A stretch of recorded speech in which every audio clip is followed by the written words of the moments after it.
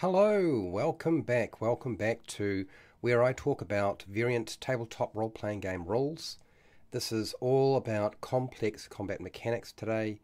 Um, there will be obviously some shots of maps, miniatures, and dice because I will do a bit of demonstration. While I also will be jumping to my, my face cam so you can actually see me um, as I sort of break down the pros and cons of doing certain things. I'm going to put up a poll. Feel free to take part in that poll. Uh, and also to grab some food, some drink, make sure you're comfortable, and we'll get started into this as, uh, as soon as I can. Um, I have prepared material for today, and some of these ideas you may have come across before. Uh, a lot of these ideas you may not have come across before. And I'm hoping this will be uh, valuable to you. For those of you who are trying to incorporate variant rules or homebrewing your own house rules in some way. So let's get started, shall we? Hi, welcome to How to RPG. My name is Fred Wheeler, and today I want to talk about role playing games. It could be Dungeons and Dragons, could be Pathfinder. It really doesn't matter. So, one of the, the first things I want to say is when it comes to complex combat mechanics, I'm really talking about stuff outside of making an attack, okay, uh, movement on the, on the battlefield, things like that. So, we're going the next step. It's the additional stuff that you would need to, to incorporate in some way. But the essentials, the basics around combat, is usually the attack roll and movement. And then anything else is kind of extra, really. So, what I'm going to do is I'm going to present a number of different concepts to you today. What I want to cover first is cover. So, I'll talk a little bit more about cover than obscurity. I will talk about obscurity, but I'll talk more about the focuses for me cover rules, right? So when you're standing behind something and you're getting cover of some kind. The other thing that I want to delve into, and it's not a very popular topic, and that is inspiration or inspiration points. They're also often called action points or hero points, or uh, in some cases, some systems you might call it a fate point. There's a lot of different, you know, there's a lot of different verbiage around that, and so I want to cover that as well for today. So let's let's go straight into cover and then we'll follow up with the inspiration stuff. So one of the first things I always found interesting when it came to cover rules is um, right now your battlefield is dependent on your environment, right? And so your first thing is you have cover here. So cover would be, you know, these trees here, or the the rocks would provide cover. Um, maybe the headstones of these these these uh, graves would provide a bit of cover. So cover is different. So, some cover is better than others.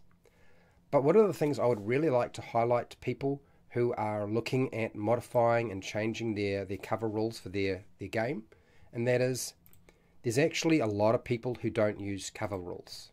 And it's perfectly fine not to use cover. So, for example, something like Dungeons and Dragons 5e, when I started playing and game mastering Dungeons and Dragons 5e, I didn't use the cover rules, which meant that there were certain feats that did not get didn't did not apply. Like you know, sharpshooter really there was no point taking sharpshooter in a game that I ran initially when I was first starting out because it was an extra thing for me to think about. So I just left it alone. And there's a lot of game masters, dungeon masters who do that. In fact, I know people today who still run 5e and other game systems and they don't use cover rules. They just ignore it. They decide they don't want that level of complexity. I think one of the first things you realize when you've played in a group with people where everybody is a game master and everybody takes turns being a game master, which is my own home group, the first thing that you start to learn about rules is everybody will adjudicate them differently.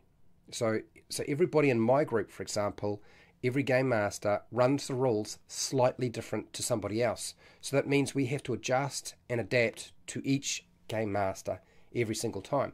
And when you wind up doing that, you start to realize that being attached and there has to be a particular way of doing something really is not very important. so, how you run your cover rules in your game is none of my business and frankly shouldn't be anybody else's business. Um, it's down to what level of complexity can the game master handle, not the players, but usually most of the work winds up falling on a, a game master or a dungeon master when it comes to cover rules to adjudicate and decide what's going to be appropriate. So it's always down to when it comes to complexity of combat rules, what level of complexity is uh, the game master or dungeon master can they deal with, or you deal with if you are a game master. It is never about what the players are doing because if the game master can adjudicate it, then it's going to work. If they can't and it's too much for them to manage, it won't work and you won't you wind up using it. So that's the first thing is you don't need to use cover rules. Okay, let's actually talk about some cover rules rather than the fact that you don't have to have them. but I wanted to point that out right now. There's a difference between cover and obscurity in a battle, and it's um, it's a slightly different mechanic. So when I say cover, cover provides like a solid, hard um, section of terrain, right? So you're dealing with something that's actually got some physical um, matter to it. It provides protection for, a, say, a character. One of these characters could stand behind a stone. That provides them with some protection. Uh, the monsters could be standing behind a, a, forest or wooded area like this. That provides them with some, some cover. Okay, They might be in the wooded area, and that also provides them with cover because there's something solid. It's making a hit from an attack or a spell or some sort of effect much harder uh, to, uh, to actually uh, cause any damage. That's your first thing. But obscurity is different again. Okay, obscurity is not quite as useful as cover because it doesn't provide protection. It's not actually creating a physical barrier between uh, your character or your monster. Instead, it's just making the target harder to detect. So, if we have everything out here, but it's now dark, darkness would be, say, you know, pretty, pretty. It's going to obscure your ability to see the enemy in some way. And as long as you don't have dark vision or you don't have a light source, so darkness would be a good one. Fog, uh, rain, you know, drizzle of some kind, uh, a blizzard would obscure your vision. Okay, makes it harder for you to see and hear. So that's the difference between them. And there are various levels of cover and obscurity that you can use. And I, I think probably the easiest way to sort of understand um, cover and breaking it up is traditionally we've had really two types of partial cover that you would use in your game. The first one being like half cover. So uh, an example might be, in this case, you cover half the body. So I've got a dice here. Uh, that little dice there probably provides about half cover for this uh, this character. But if I put a second dice in front, say equivalent of two crates, now instead of half cover, we've got three quarters cover. Half cover being you're covering about half the body, three quarters cover being you, you cover about three quarters of the body. And most systems kind of work that way. And then there's another one which is essentially you cover the entire thing and you can't see them at all, which is it's not a partial cover, it's total cover. Okay. And these concepts have been used in Dungeons and Dragons for a long time and role playing games.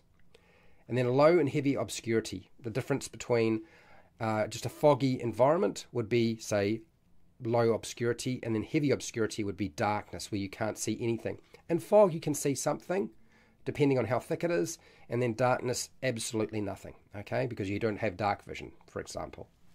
So there's a couple of ways that they've used um, cover, and this is the, these are the ones I want to sort of go over. I think probably the, the first thing I, I'd like to mention is it I always find it interesting that we break it up into three categories of cover. Like we have half cover, three quarters cover, and total cover. And most game systems tend to do this. But there are a few out there that just use two, and that is partial cover and total cover. Partial cover is you've got some part of your body that makes it harder for you to be hit, and total cover is you can't be seen at all. And that simplifies the whole process completely. And we're going to go back to this. There's a point where I'm bringing this up because um, I'm going to put forward an idea for those of you who are still playing uh, Dungeons and Dragons 5e or playing a different system, I'm going to put forward a, a, suggestion to you to simplify your cover rules. For those of you who want to have cover but want to eliminate some of the complexity. Anyway, okay. So back to what I was trying to say. so let's look at the different ways you could do that. numerical bonuses is probably the first one. I'm going to suggest numerical bonuses of, say, a a 1, a plus 1, or a, plus 2. We could have a, a plus 4. These are quite common, these sort of bonuses. You might even decide to have a, instead of a plus 4, you might have a plus 5. And I have seen benefits or bonuses for cover that go as high as 10, like literally uh, um, plus 10 to your, your cover. Now, you what you're doing is the numerical bonus gets added to the armor class or the armor defense or the defensive um, aspect of your character and when you're behind some sort of partial cover. And our numerical value allows us to differentiate the different types of partial cover we have. Numerical bonuses can easily be forgotten uh, when dealing with cover, I find. Uh, it, it's very easy unless the game master is paying attention or the players are paying attention and quite often I find that if the game master doesn't pay attention all the time to what is actually going to provide cover, it's going to get lost. The only time it doesn't get lost is when the players have cover and it's beneficial for them to have that cover bonus. But when the monsters have a cover bonus and the game master forgets that they, they they, do have cover, the players will probably not point it out. it doesn't because it doesn't it doesn't suit them and um, uh, give them the benefit that they want. They don't want the, the monster to have that cover um, bonus if, if they can help it. And it definitely requires more effort, I think, by a game master to employ bonuses of plus one, plus two, plus four, plus five, plus ten to any kind of armor class or defense. And this is very apparent when you're playing something like Dungeons and Dragons 5e. The benefit of numerical bonuses is you can cover uh, a wide range of different types of palm partial cover with very small increments or incremental adjustments. So in 5e we have an increment of 2 for half cover and an increment of I believe 5 for partial cover. Uh, if we looked at older versions of the game it used to be a uh, of D&D it was at plus 1 and then you got a plus 2. So you were lo- looking at very slight adjustments, not a big adjustment at all. Now, I think part of the reason why there's been a sort of a look at let's apply cover a cover bonus where we we increase the armor class or the defense of a character or a monster is to put more work onto the onto the um, game master because the game master is probably going to be a bit more honest about when it needs to be applied rather than leaning onto the players. Now, it's not always the case, but I think that's generally the the uh, the approach. It's like, okay, let's ensure that cover gets used, and the person who's really going to be paying attention to this needs to have an easy way of doing that. And if we have two types of partial cover, uh, the game master can just adjudicate, okay, you get a plus two or you get a plus five, and uh, and they will add it to their monster if they have the cover, and if they characters have cover, then they will tell them, okay, they get a plus two or plus five to their armor class with, with this attack. Uh, this puts a lot more extra work onto a game master. I'm not really fond of this. It's probably one of the aspects of Dungeons and Dragons 5e that really sort of um, talks to the fact that they don't look after the game master very well. They they lean on the game master and their brain so much without making it, you know, a little bit easier. Hi Matt, how you doing?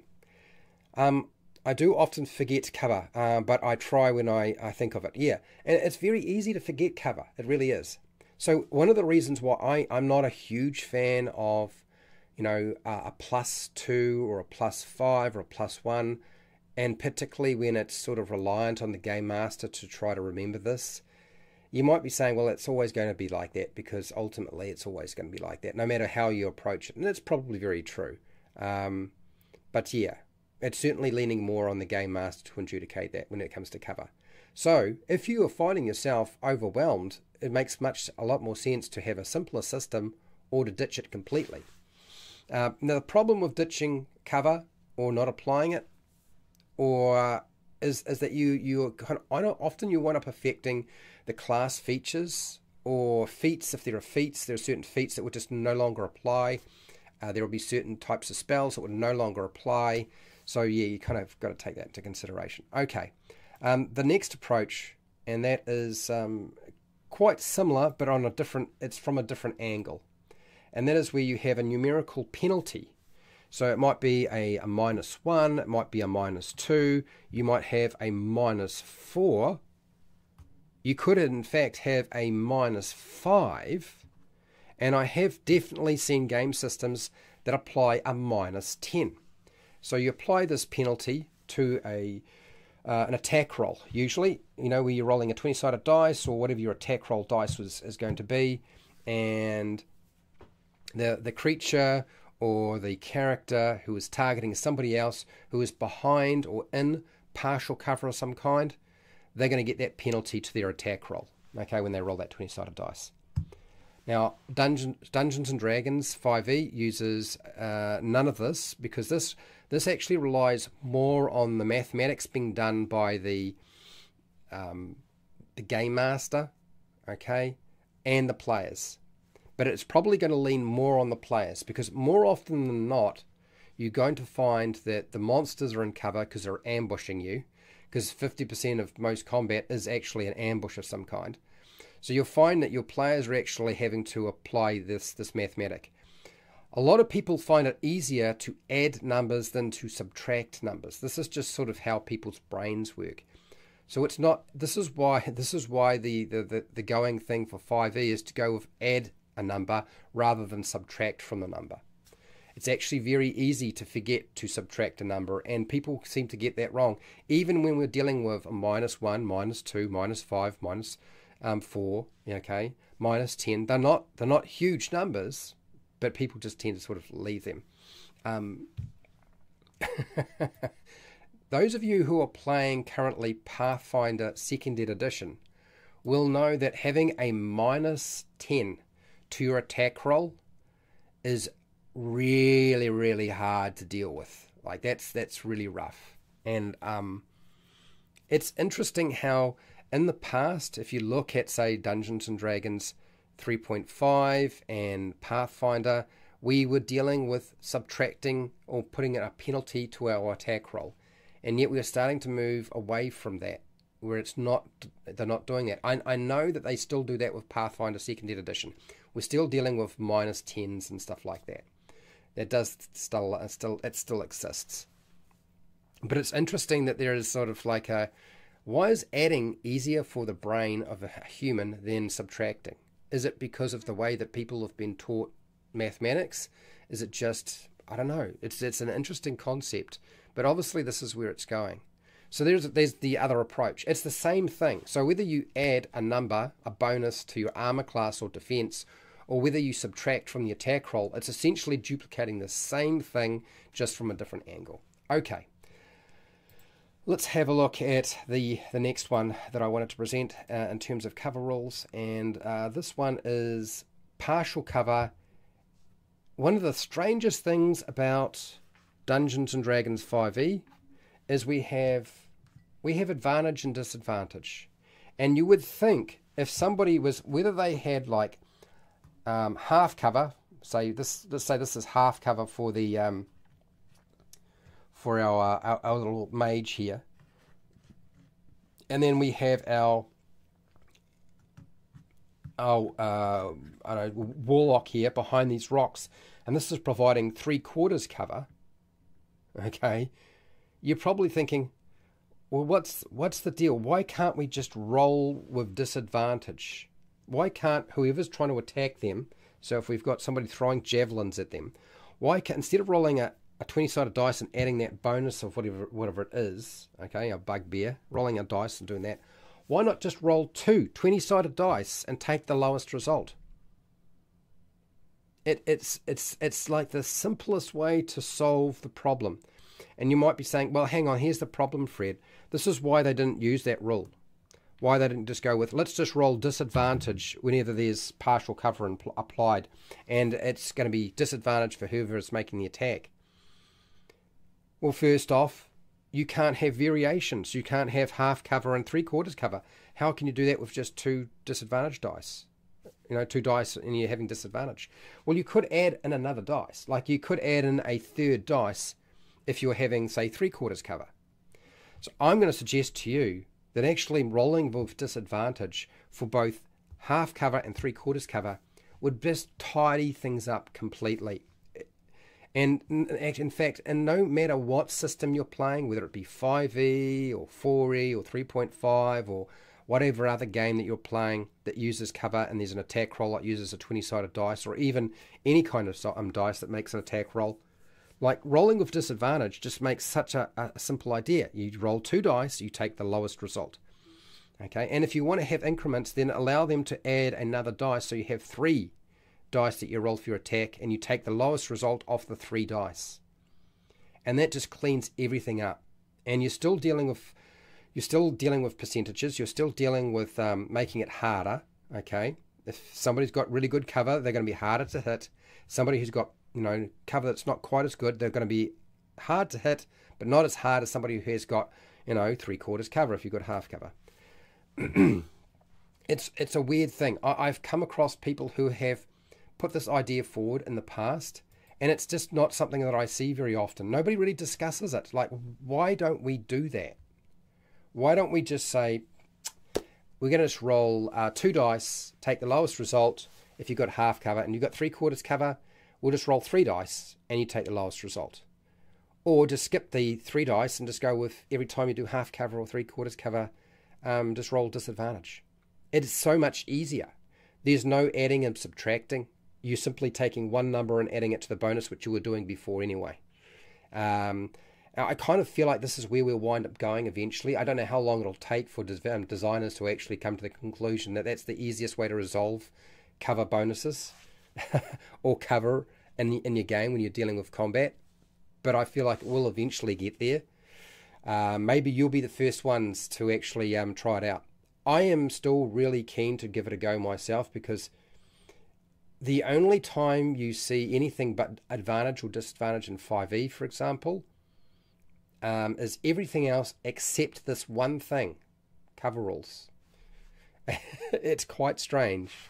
I just wanted to point that out. Um, I thought it was it was an interesting um, an interesting development, honestly. And then I'm not going to go over the 5e rules because you know we've kind of discussed this before in the past, and I've done videos on it um, till the the cows go home. But the next topic I really wanted to talk about, and that is inspiration. If anybody had anything they wanted to talk about or discuss or suggestions about cover, please put them forward. I, I'm interested.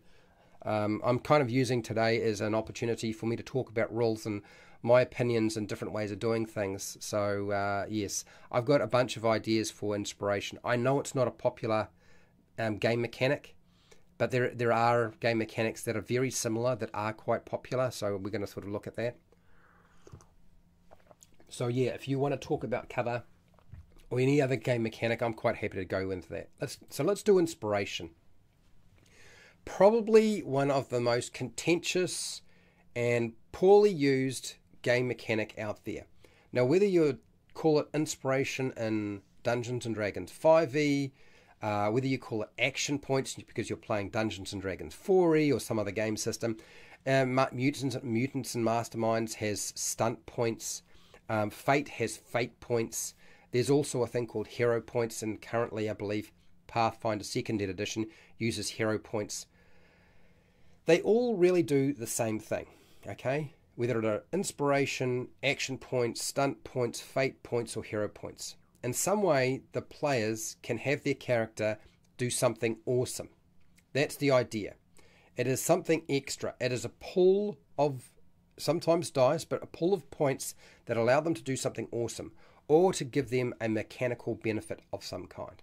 That's essentially what it is. Almost all role playing games have a system like that. It is so common, whether you call it inspiration or not, it's called lots of different things, but every game system generally has a system like this.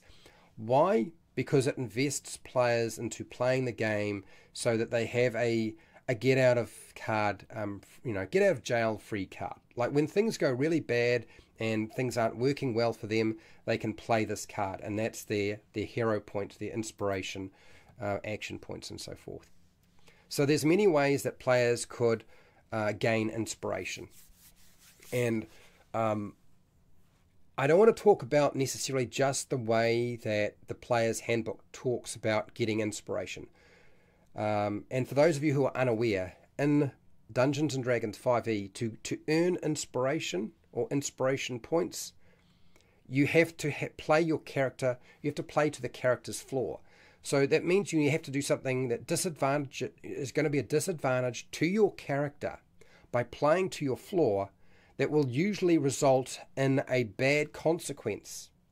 And by doing so, you get an inspiration point, okay? Or you get inspiration.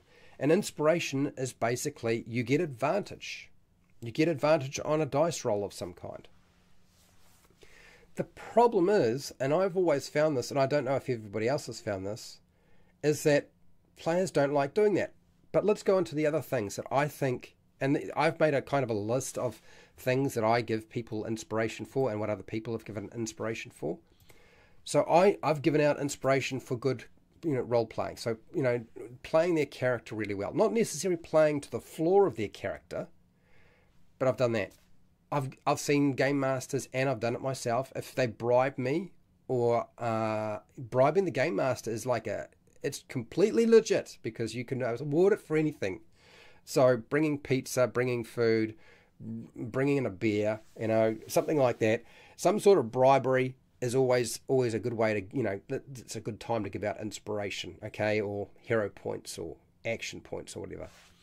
Uh, the other one is a character doing something risky. Now that it runs into the same problem. A character doing something that is risky means that there's usually an outcome for the player that is counterintuitive to what they are trying to achieve, which is, which is to be successful and not have their character die.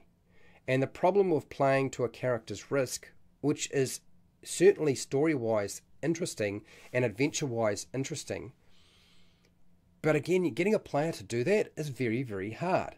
And also, players acting to their flaw. same sort of thing. It's not necessarily risky, but it's not necessarily going to give them the best outcome. Okay, uh, bringing food and drink to the table. Uh, there's lots of different ways you can do it. I know some people just give out inspiration at the beginning of the session just for showing up. If you actually showed up at the table, you get inspiration.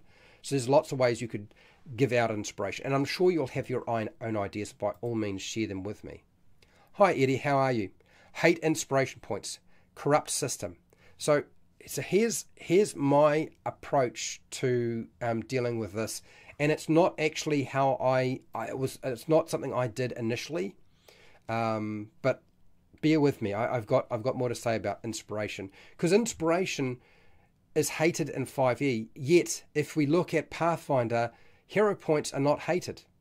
Fate points. I've played Fate. Fate points are not hated. Uh, if you're playing Mutants and Masterminds, stunt points are not hated action points are not hated. So why what is it about inspiration that makes it not work? I'm going to get there. Um, so what might you wind up getting? So usually if you have inspiration or action points or whatever, whatever system you're using, there's a couple of things you're likely to get. And the first one is usually some sort of mechanical benefit. It's almost always some sort of mechanical benefit. So whether that is you get a re-roll, you get to re-roll some dice, okay, uh, that's quite common. Some sort of dice mechanic is usually involved. Maybe you're adding uh, another dice to whatever you're rolling for for your main check or your main dice roll. Maybe you get an extra action. Like quite common is uh, getting an extra action. Players love that, and yet getting advantage a lot of people don't like that that much. It gets forgotten. it gets forgotten. Um, granting advantage, okay, on a reroll or just a, a plain out reroll. I mean, reroll mechanics are so common in a, a game, particularly D20 systems. But advantage or a reroll, it's really the same thing. Uh, so you, you screw up your attack and you get to, to roll again. Or you get you get advantage. So you roll roll the first attack, didn't come out right. Okay, there we go. And we roll again. Okay, oh right. Well, the second dice wasn't as good, so I keep I keep the first roll. You know. But if you rolled really really low, it's it's definitely a benefit. And then also, and this and this is another way you can apply inspiration, action points, and so forth, whatever you want to call them, is giving your ally, give them the inspiration so that they can roll a another 20 sided dice or roll with advantage. So it's a re roll or advantage of some kind, giving it to your ally. when you don't really need it, but they do, can be really useful. Or forcing your enemy. So, say the enemy is trying to make an attack on you, they swing, they try to bash you, and they get a 20. Like, that's the worst thing you could possibly get, right? They roll a 20, it's a critical hit. Well, being able to force your enemy, if you've got inspiration, to take disadvantage, so roll another dice to get rid of that uh, that critical hit. Well, that even if they still hit, it's at least not a critical, right? Unless, of course, you roll two twenties, or the Game Master rolls two twenties.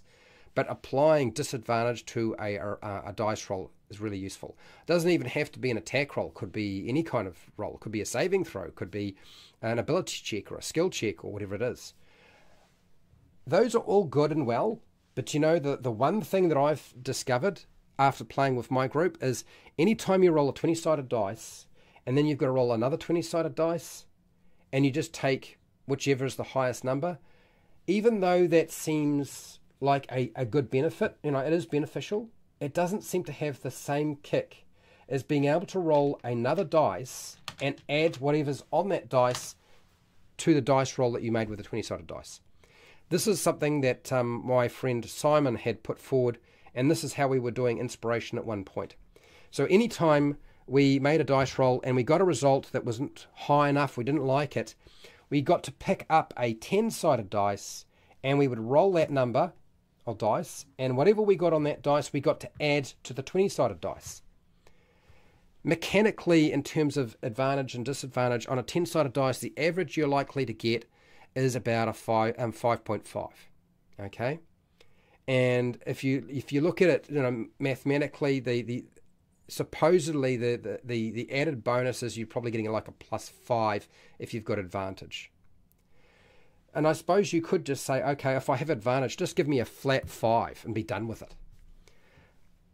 But I can tell you now that in my group, we found that being able to roll a 10 sided dice and add that result to a 20 sided dice, we were much more likely to use inspiration. Even though you've got a chance of rolling a 1 or a 2. And now I know it sounds strange, but it's it's it's true. I honestly found that being able to roll an additional dice was really useful. And another another system you can use, and this is very common, and it's not part of inspiration in 5e, and that is getting to get um, getting another main action. I don't mean a bonus action if you're playing 5e. Um, I don't mean a minor action or a swift action if you're playing um, um you know 3.5 or you're playing um, uh, Dungeons and Dragons 4e or anything like that. Okay, what I mean is your main action. You call it a standard action or main action, it's just a basic action. So instead of being able to just attack once, you can attack twice. And you can use, of course, actions allow you to do lots of different things. So getting an extra action, instead of just a one, one action, you get another one. Hugely beneficial. And, and it's the sort of thing that people don't forget. They will use them. they will absolutely use them. So there's a, a, bunch of different things that I think inspiration fall into uh, fall into a trap, and the way that we use inspiration in our games is part of the problem. And I don't think that the designers of 5e and then frankly uh, many game systems have actually taken this into consideration. And I want to present them. So you were waiting for pros and cons. I've actually got some big hitters coming up. How's it going? Prepare, cook, and survive. How are you? Hello, all. Um, you've been watching while you're painting. You keep doing your painting, and I'll keep talking. I want to give it to my enemy uh, to hit all ally, um, any ally I dislike.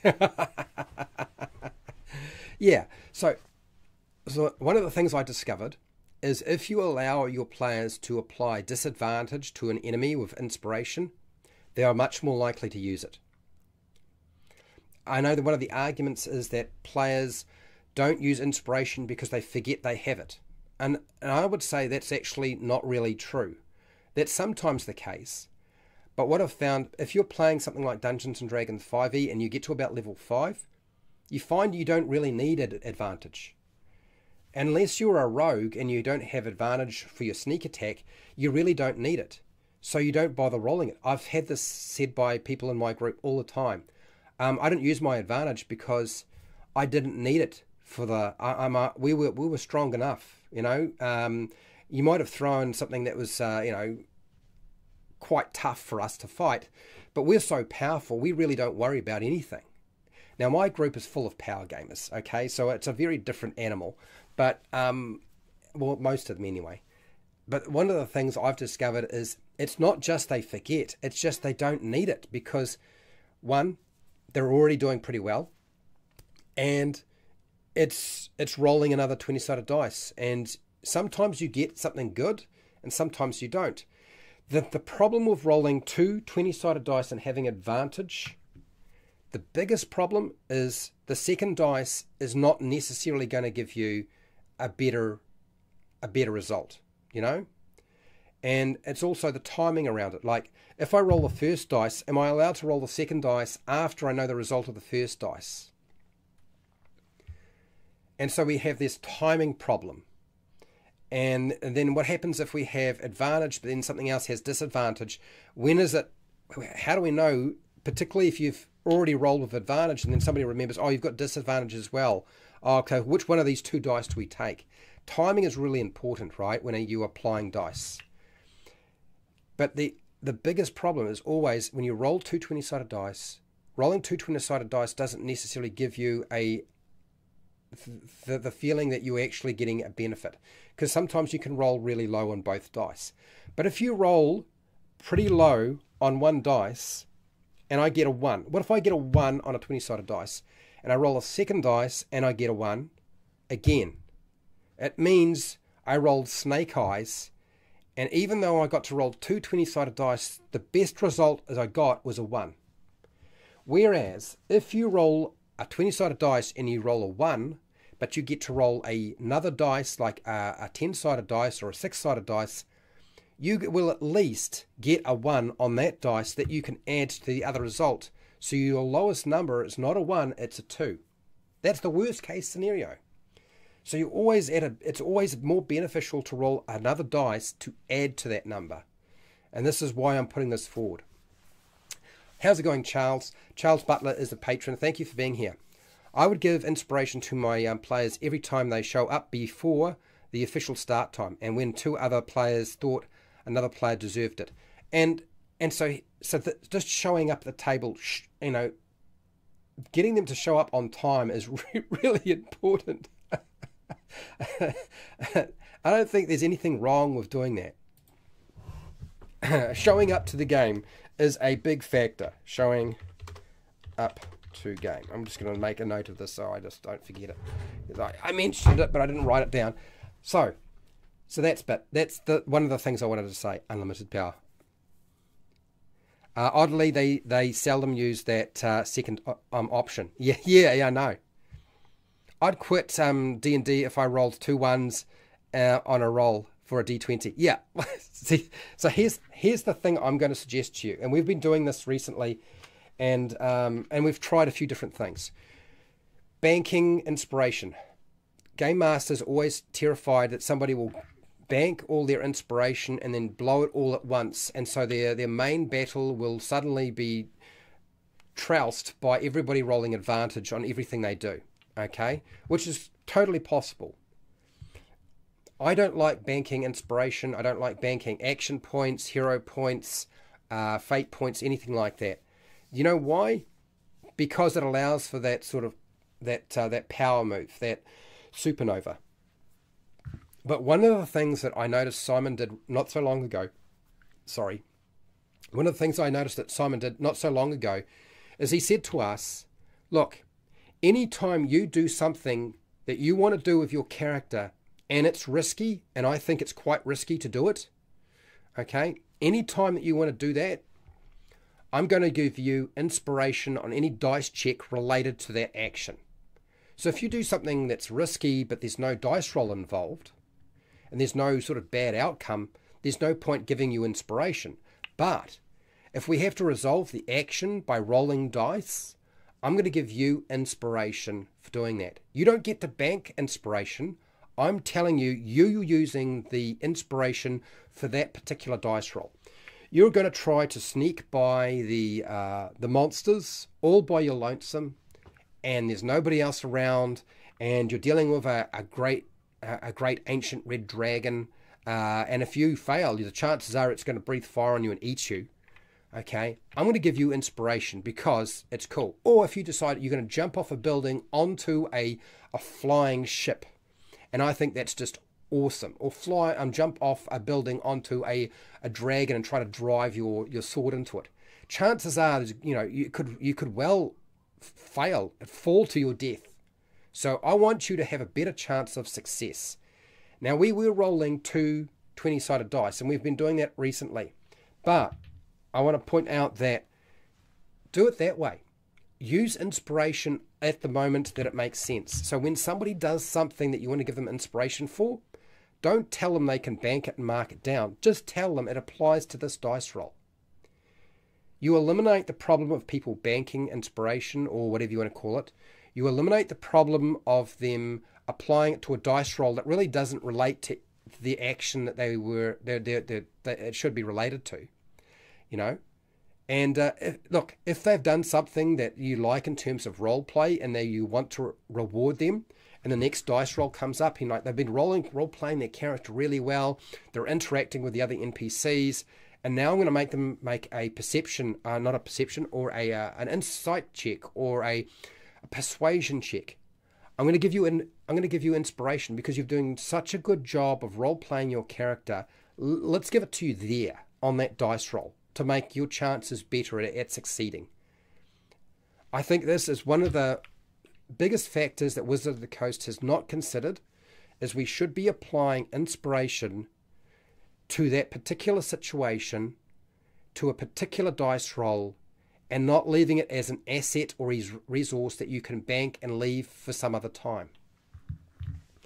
Uh, and as soon as you start using it that way, honestly, we don't have problems with people banking inspiration now. We don't have problems with people deciding it to use it. You know, uh, we ran out of time. We, we you got inspiration 15 minutes before we end the session, and there were no dice rolls to apply it to, and so you never got a chance to use it, and now it's lost. Otherwise, you've got to bank it and save it for next time, which is completely unrelated to what we were doing before. So uh, instead of looking at inspiration as a, a resource that you collect that the players get to use uh, any for anything, consider it as it's tied to a particular action related to what they were doing. And honestly, I think the results are much better. And uh, again, get them to add a 10 sided dice roll to the 20 sided dice roll rather than rolling two dice. Uh, and you can do the same thing with you know um, disadvantage. You you could get you know I want to apply disadvantage to the enemy in this situation, um, and, and you know and you say, well, hang on, what are you doing? You're doing something that's risky. Um, it sounds really cool. It sounds really interesting. I want you to succeed, but the chances are, even though it seems like it's a great idea, it may not work. So um, you want to? Uh, we can we can apply you know a ten sided dice roll and and deduct whatever we roll on that ten sided dice from the twenty sided dice roll that the enemy's making. So there's a, there's a ways of doing this that actually makes it work better. Um, I, I, it's been my favourite way to apply inspiration in the game so far, is applying it then and there to the actions that were actually being taken at the time. Um, it doesn't always quite fall into that uh, that realm, but it's worked out much better. Anytime we've had inspiration awarded at the beginning of a session and it's just been sitting in a pool waiting to be used, it tends to just sit there. it just it just does. Um, would most of these examples be great cinematic rules for RPGs? I think they apply really well to any kind of RPG. Eddie, honestly, I think they apply really well to any kind of RPG. So that was actually all that I had to I wanted to discuss today with regard to game mechanics. Um, I guess the other thing is like it's also kind of good if you can if you can look at inspiration and say, does it have to be a does it have to be a um, another second dice roll? You know, does it have to be a re-roll of a twenty-sided dice? Do we have to worry about rolling a dice and adding a number to that twenty-sided dice roll? I actually think there's there's a lot to be said for just uh, allowing them to have a another action. You know, you can do a bit more in this in this situation. You're taking a big risk I'm going to give you another action to do, particularly when it comes to combat. Outside of combat wouldn't really apply that much, but inside of combat, it makes a lot more sense. So being a bit more versatile in the way that you apply inspiration, I think the the real the real weight behind uh, the inspiration process, the hero point process, uh, action points, fate points, whatever you want to call them, is the the fact that you need to have more than way one way of applying them as a game master to assist the players in what they're trying to do.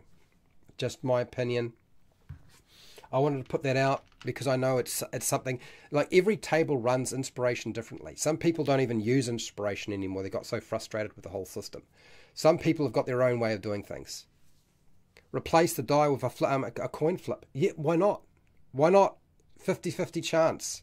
Instead of a potentially one a one or a twenty roll on a dice, a, a coin flip would uh, would be would be uh, another way of dealing with it. Um, so yeah, I'm going to actually finish there today. I want to see the poll uh, and see what we've got in terms of votes.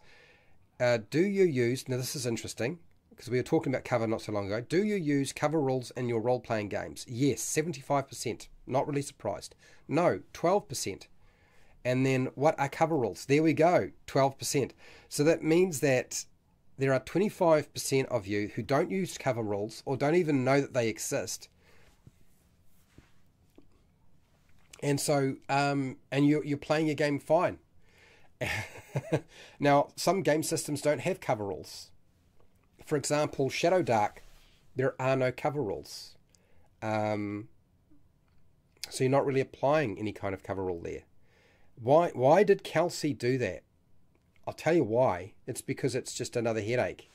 Uh, but you can have, I mean, Shadowdark uses uh, the token system, and the token system is the ability to re-roll a dice. Uh, and a token is there specifically because there are a lot of things that you could wind up doing and failing uh, when you need to be able to change that result. So I, I actually think that um, inspiration doesn't work very well in 5e because as the game when you're starting off the game is a, is a little bit harder but it's really quite a lot easier to play once you're about level 5 or 6 just the power shift. Shadowdark is pure love. I, I, I like Shadowdark in many respects. Um, I believe Wally was telling me that Shadowdark to him felt like he was playing BECMI Dungeons and Dragons or basic D&D. And I have to agree, since I have now played Shadowdark and I have now played BECMI or basic D&D, which I hadn't played before, I would say it does feel very, very similar. Um, so yeah, please let me know uh, if there are some types of uh, complex game mechanics you would like to talk about in the future. I've only prepared those two because they're the two that I sort of had time to put together. I'll certainly come back and we'll talk about other things. I am going to uh, shuffle off uh, and get on with my day.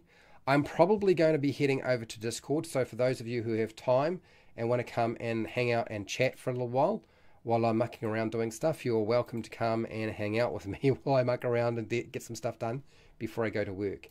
Uh, if you're not really interested, hey, thank you for, for coming in the first place because yeah, without people here, it wouldn't. It would. I'm just talking to myself, aren't I? Really.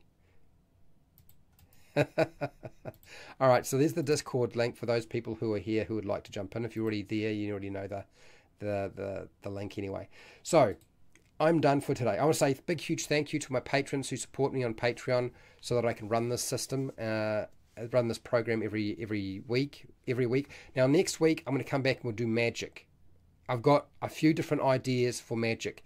Kind of a bit revolutionary for I guess for a lot of people, but um, that's that's how I like to be. magic is one of my my pet peeves and, and pet loves. So thank you for watching. Thank you for taking part in the poll. Thank you for listening and providing your your input. Thanks Charles and Eddie, uh, Matt and Fred for uh, for putting in your uh, your comments. Um, so wherever you are in the world, whether it be the morning, the afternoon, the night, or the wee wee early morning, please look after yourself, your family, and your friends. Be nice to your neighbours, and hey, till next time, why not try a different way of doing things and your complex combat encounters? And hey, till next time, keep rolling those twenties.